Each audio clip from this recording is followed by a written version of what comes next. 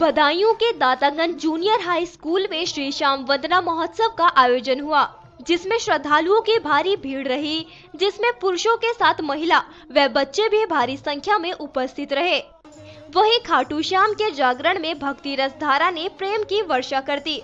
खाटू श्याम जागरण में आयोजकों द्वारा बाबा खाटू श्याम का फूलों से भव्य दरबार सजाया गया, साथ ही खाटू श्याम का अलौकिक श्रृंगार भी किया गया।